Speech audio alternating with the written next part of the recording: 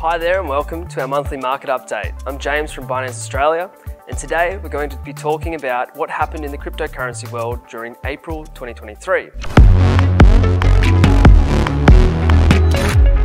First, let's check out what's been going on in Australia. Australia's crypto ATM market has surpassed Asia's total number of crypto ATMs, with 370 locations currently in operation. The country's rise to prominence can be attributed to its consistent installation of new machines over the last eight months.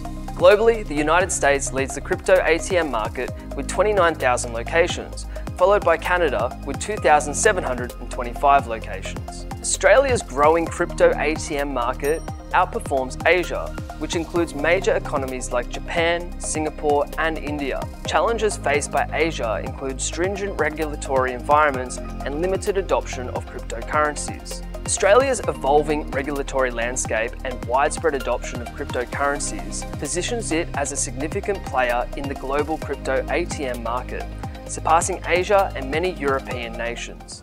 The Commonwealth Bank of Australia, CBA, reports that Australians continued to invest in cryptocurrencies during the 2022 bear market, dubbed the crypto winter, reinforcing the need for regulation in the sector. CBA Managing Director, Blockchain and Digital Assets, Sophie Gilder, explained that customer interest in cryptocurrencies persisted despite market volatility. This ongoing interest makes a strong case for regulation, which could provide greater consumer protections and clarity for businesses looking to invest and innovate. Gilder supported a technology-neutral approach to regulating digital assets, suggesting that modifications to the Corporations Act would be a most efficient way to regulate crypto assets. The Australian Bank Association also supports the same regulation for financial and payment services, regardless of the underlying technology. Australia and New Zealand Banking Group, ANZ, partnered with Grollo Carbon Ventures, GCV, to trade carbon credits as part of a pilot project conducted by the Reserve Bank of Australia, RBA, and the Digital Finance Cooperative Research Centre. ANZ tokenised Australian carbon credit units, ACCUs, and is used is Australian dollar-backed ADC stablecoin to trade carbon credits on a public permissionless blockchain. Settlement occurred in a near real time via ANZ smart contracts and the Australian CBDC backed the ADC stablecoin. This pilot is the first of three Australian CBDC use cases in which ANZ will participate. The bank will also be involved in use cases for offline payments and pension fund payments, as well as distributing the CBDC. Now let's shift our focus to global crypto news.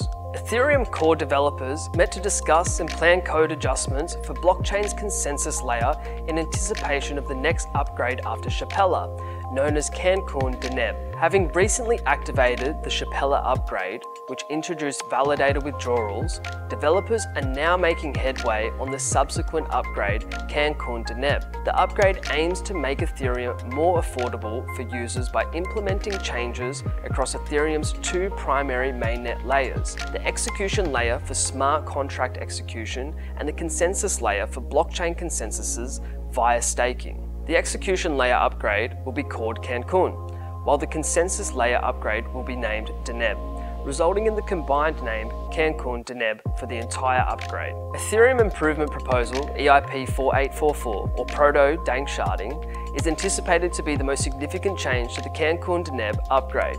EIP 4844 aims to improve Ethereum's scalability beyond the current capabilities of Layer 2 solutions by enabling temporary storage and retrieval of off-chain data by Ethereum nodes. If successfully implemented, EIP 4844 is expected to reduce transaction costs on Layer 2 rollup solutions like Optimism and Arbitrum. Solana has introduced a dashboard to track carbon emissions in an effort to combat the narrative of high carbon emissions associated with the crypto industry. The Solana Foundation announced an integration that measures the blockchain's carbon emissions in real time.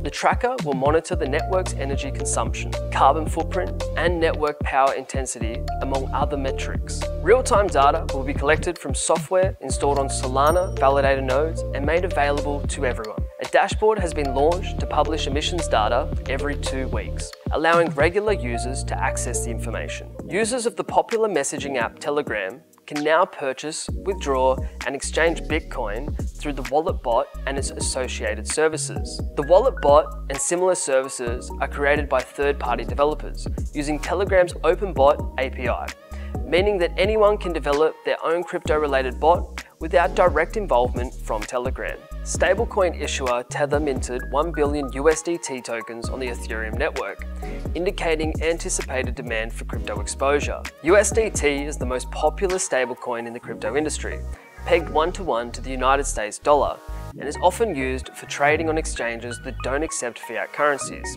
Tether's dominance in the stablecoin market continues to grow with over 35 billion USDT tokens on Ethereum, while its closest competitor, Circle's USDC, accounts for less than 30 billion tokens. Across multiple blockchains, USDT comprises over $81.5 billion pegged tokens, further intensifying Tether's market dominance with no other stablecoin coming close. Some believe that the supply of USDT historically indicates the direction of the crypto market, with higher demand for USDT typically signaling new cash entering the system, which is often used to buy Bitcoin, Ether, and other cryptocurrencies. Google Cloud is launching benefits for Web3 startups to apply for its Startups Cloud program, including grants from foundation partners Aptos, Celo, Solana Foundation, HBAR Foundation, and NEAR. Startups will have access to the Alchemy University and 10,000 in Alchemy credits, along with access to Polygon Ventures Ecosystem Fund, offering around 3 million in investments. The program features two tiers, the starting tier for pre-seed projects and startups founded within the last five years, and a scale tier for seed to Series A startups that have been founded within the last 10 years. Google Cloud continues its foray into Web3 after launching the blockchain node engine last fall, which builds and deploys blockchain-based applications and platforms, initially supporting Ethereum and later including Solana. Alphabet, Google's parent company, has been a significant investor in blockchain technology throughout 2021 and 2022, with its investment vehicles making 990 investments. Now let's take a look into the metaverse of NFTs, gaming, and music. Canadian electro-pop artist Grimes announced on Twitter that she will split 50% of royalties with anyone who uses her voice in a successful AI-generated song. Grimes stated that the royalty split is the same deal she would have with any artist that she collaborates with and granted creators permission to use her voice, without penalty. She mentioned that she has no label and no legal bindings. The artist is currently developing a program that should simulate my voice well, and is considering uploading stems and samples from people to train their own. Grimes expressed her support for the idea of open sourcing all art and killing copyright. Grimes, also known as Claire Boucher, has a history of embracing emerging technologies such as AI and blockchain. During a relationship with Elon Musk, Grimes released a collection of original art as NFTs, earning 6 million at the time. Renowned rapper Snoop Dogg collaborates with VeeFriends, a unique NFT collection by prominent social media figure, crypto investor Gary Vaynerchuk, to release an innovative NFT collection including a tokenized track titled Please Take a Step Back. The diverse VeeFriends NFT collection offers various NFT types, such as character tokens, access tokens, and gift goats, each with unique perks like event access, mentorship from Vaynerchuk, and more. The Burn Island announcement to VeeFriends aims to broaden the project's scope and strengthen the intellectual property of the digital tokens. VeeFriends NFT holders are the primary contenders in Burn Island eruptions. For phase one of the Snoop Dogg collaboration, Burn Island is calling on all VeeCon 2022 ticket holders to participate in a unique event by burning one VeeCon 2022 ticket NFT in exchange for a mint from the Please Take a Step Back collection.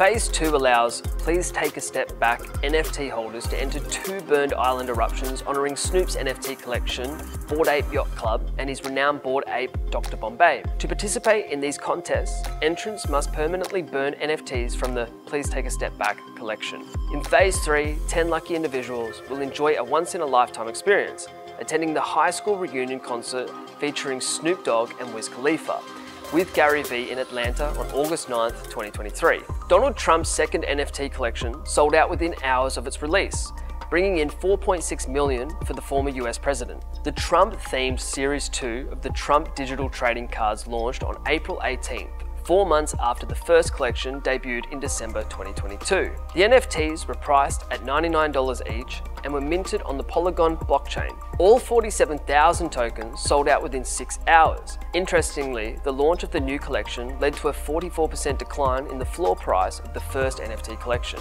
Trump returned to Instagram to promote the launch, which was first shared on his own social media platform, Truth Social. The collection included 47,000 NFTs, possibly hinting at Trump's return as the 47th President of the United States. Users who bought 47 NFTs will win a dinner with Trump at his Mar-a-Lago residence in Florida. TinyTap, a subsidiary of Animoca Brands and a leading edtech platform for user-generated educational games, has raised 8.5 million from investors such as Sequoia China, Liberty City Ventures, Kingsway Capital, Shima Capital, Polygon, GameFi Ventures, and more. The funding will support TinyTap's business expansion and accelerate its growth in the edtech space, transforming its successful Web2 platform, serving over 9.2 million registered members, into an alternative Web3 education system that values teachers by improving earning opportunities available to the teachers. In 2022, TinyTap introduced publisher NFTs, empowering,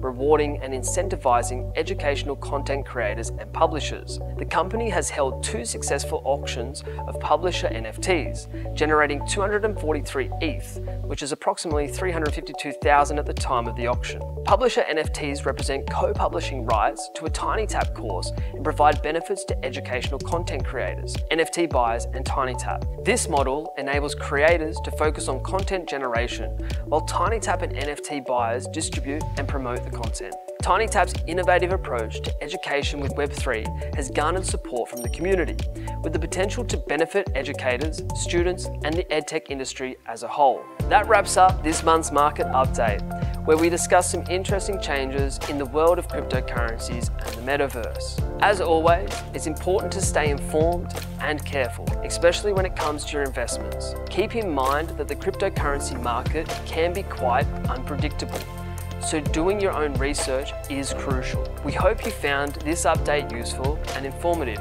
If you did, please support us by giving a thumbs up and subscribing to our channel for more news, analysis and insights on the latest trends in crypto and beyond. Thanks for watching and we'll see you next month.